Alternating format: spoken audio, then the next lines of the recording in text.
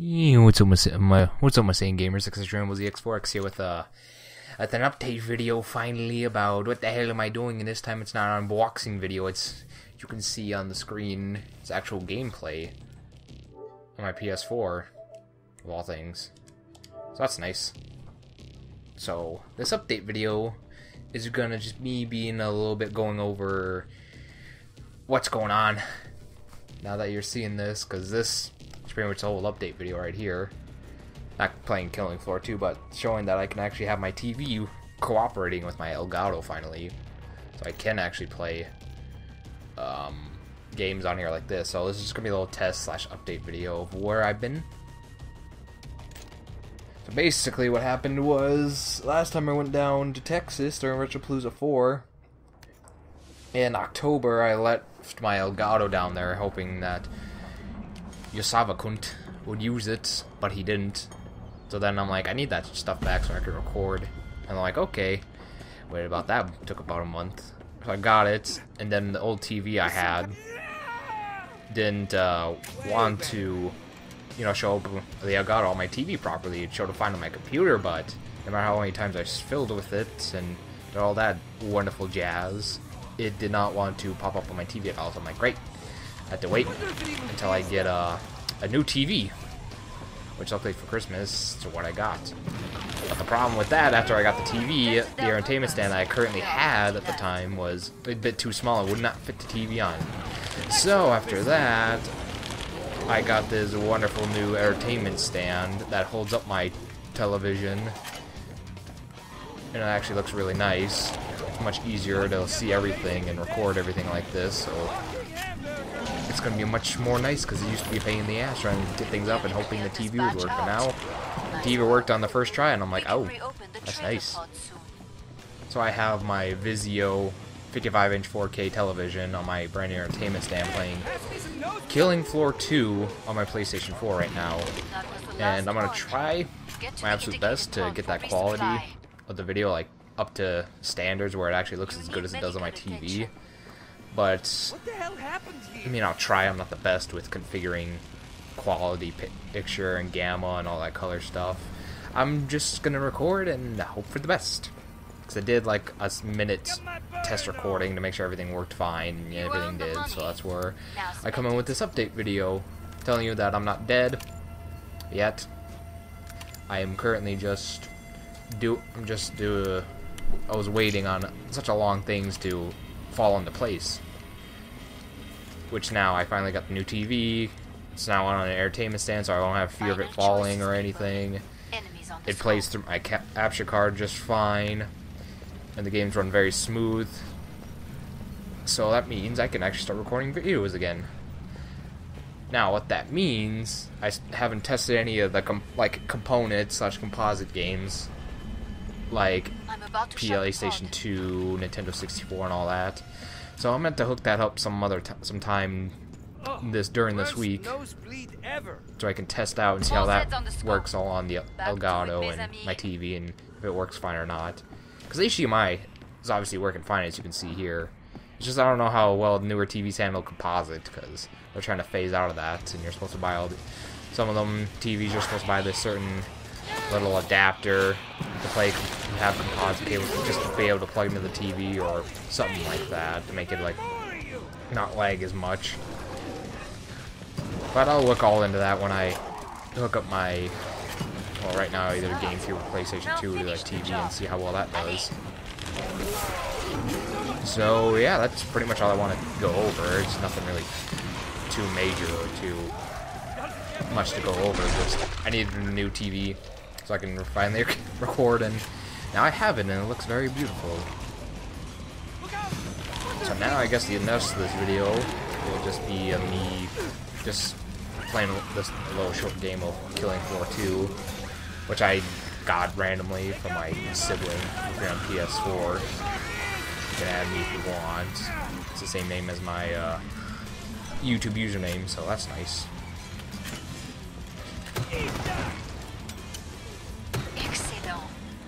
And so far, this is day two of me playing Killing Floor 2. And I haven't, like... It's just pretty much a basic survival zombie game. as, like, If any of you played the original Killing Floor, you might you might already know what this is like. But this, well, I've never played the original Killing Floor, so I'm just going off assumptions. That all this really is is just a survival horror game with zombies and stuff like that. It's Very fun game. It's much funner when you have like other people to play with you, but I don't at the moment because you know they don't have it. The main people I play PS4 with don't have the game, so that's nice. Um, I'll get rid of the caulk and burn for my flamethrower. Fill that baby up a little bit. So as you see, I picked the firebug because I was just throwing this game randomly. I didn't do the tutorial, I just played like a solo match. I was like, I don't know what to pick. Uh, oh, I'm just going to do with fire because that should be nice. I'm really enjoying this class so far. You start off with a little pistol and a caulk and burn, which meaning your expertise is going to be in pyro and flames and all that. Kind of and I am currently, what was it? Yeah, level 5, which means I can configure any of my skills. I just put the increased damage on fire weapons just because I'm going to be using fire weapons a bit. And for this game, you can actually change it to a few different settings, like only do up to wave 4, wave 7, or wave 10. And usually wave 7 is like the normal length. It takes like, well by myself, it takes about half an hour-ish to complete a game. So it's not too terribly long when you play with someone.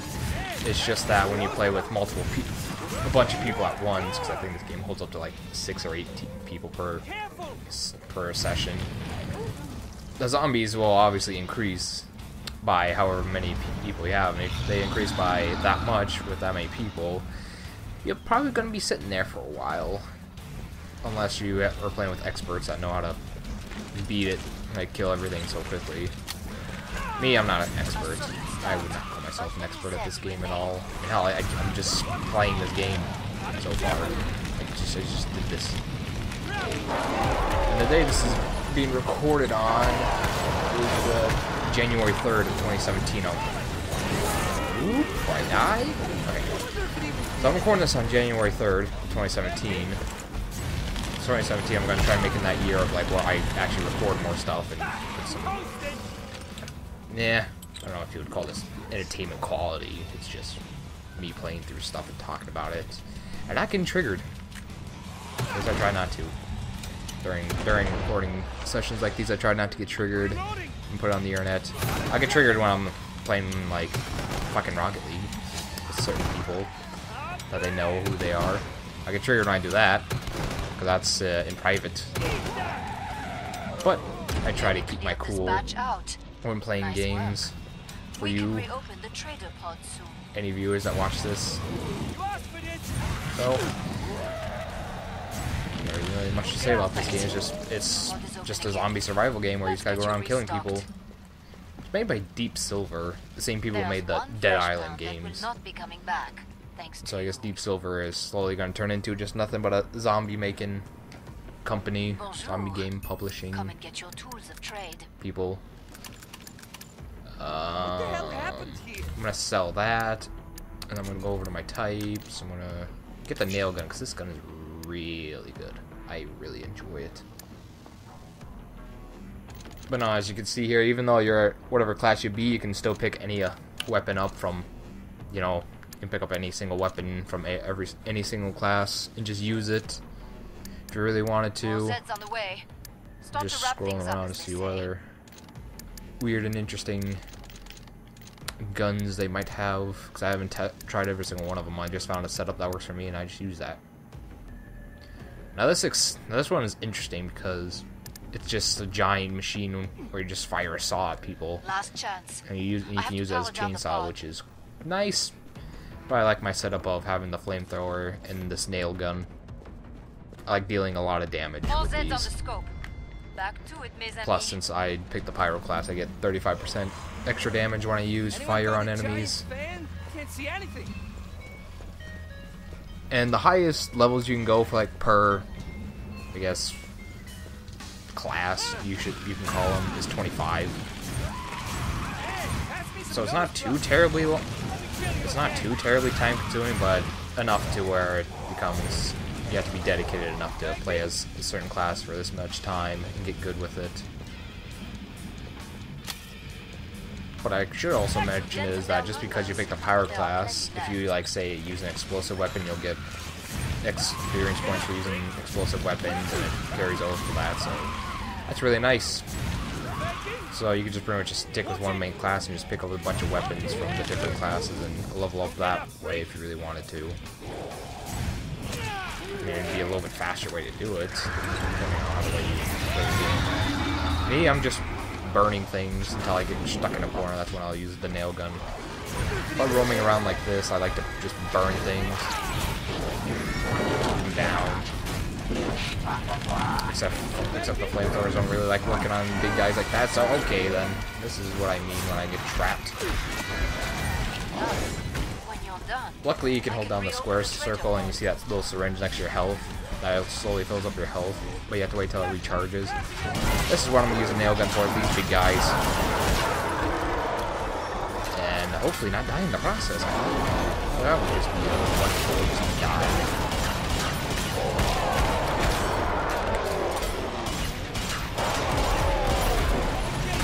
Okay, this, this big group refuses to go down. There we go. Look, I was using this gun, which is the Berserker class gun, and it still leveled me up. Still leveled up by that one. So you're not just restricted only leveling up your class if you pick this certain class. You can use different weapons and level up your other classes, which is very nice. I'm impressed by your Alright, survival instinct and then we're gonna follow these arrows to go to a little pod where you saw me like buy and up, like you get more ammo for my gun, sell stuff. That's pretty much just the round, or it's just pretty much a minute where you can just relax and build up your ammo for the next wonderful wave.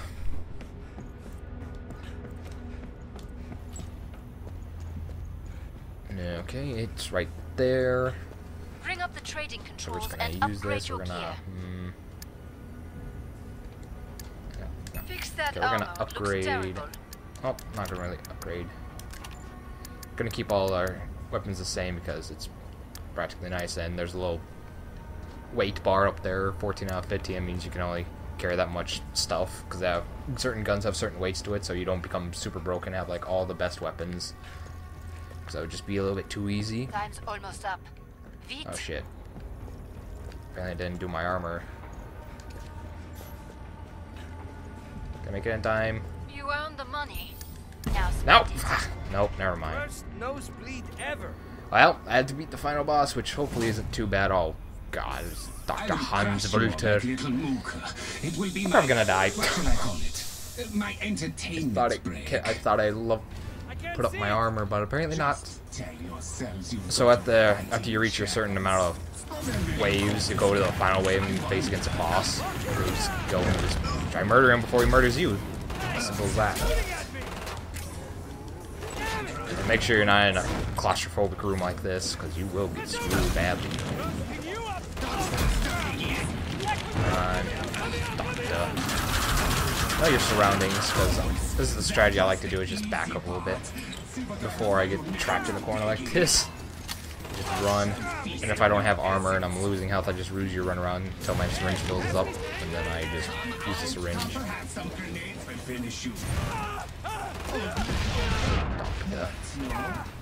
I'm gonna kill you, and then we're gonna end off this video in a very wonderful fashion. What a I can't kill, but I can't steady the There he is. Oh god. Okay, okay, now I'm gonna die. I'm gonna leave this building because it's just claustrophobic and I don't like it. I hunger for life force, but who will I drain? I wanna go and run around on the free outside, that way I have more room to navigate and don't get trapped easily. Oh god, you're just you're just hot on my ass, aren't you? Oh Sustain. Yep, stop healing yourself. You little.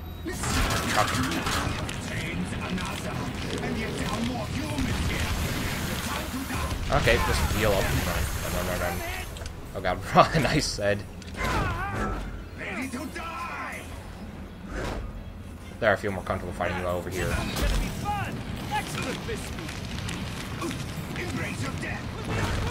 Okay, screw it. Yeah, yeah.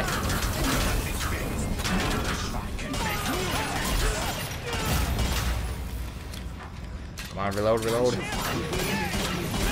What? You... Oh. That zombie had to touch me. If he didn't touch me, I probably would have had this guy killed already. No. Oh god, no, no, no, no. So close. Burn him, burn him! Yeah, there we go. Die Volter, which just killed the Doctor Boss. There we go. Look, there's my guy. He's it's a hipster skeleton looking guy. So yeah, just to refresh over the this very stupid kind of video. I can start recording again now that I have my new TV. My Elgato works fine with it. I just got to test composite and see how well that works. And I hope this comes out very nice and uh, sort of professional like. So this has been X6 Rambles the X4X. And in the next, well, whenever video, hopefully it's going to be a playthrough part episode. I, I don't really know anything. But until then, I want all of you to have just just a wonderful day. Just just very just just nice. I just have a nice day. And bye bye.